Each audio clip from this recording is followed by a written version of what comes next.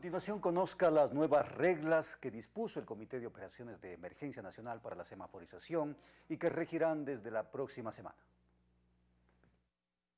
Desde el próximo lunes 1 de junio regirán nuevas disposiciones en la semaforización del distanciamiento social. Según la ministra de Gobierno, María Paula Romo, han pasado 77 días de aislamiento y la situación sanitaria está más controlada. Tenemos hoy diferentes condiciones a las que existían el 16 de marzo. Han disminuido los contagios y cada vez existe un mejor control de los casos. Las nuevas reglas son las siguientes. En rojo, el toque de queda empezará de 18 horas a 5 de la mañana. Los vehículos particulares circularán dos veces por semana. El transporte urbano está restringido y el interprovincial no podrá circular.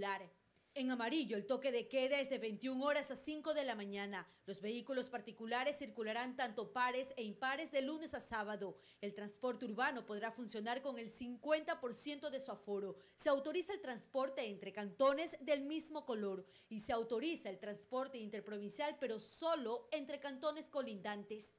Además, se permite la apertura de restaurantes con el 50% de su aforo y todas las empresas pueden funcionar con medidas de bioseguridad.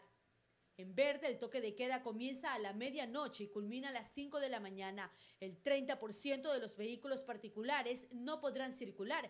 Aún no hay una explicación a esta medida. El resto de la transportación mantiene las reglas del amarillo.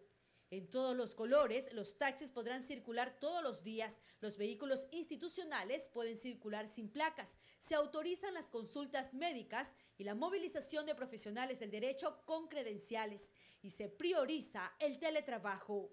Luxiola Salazar, Telerama Noticias.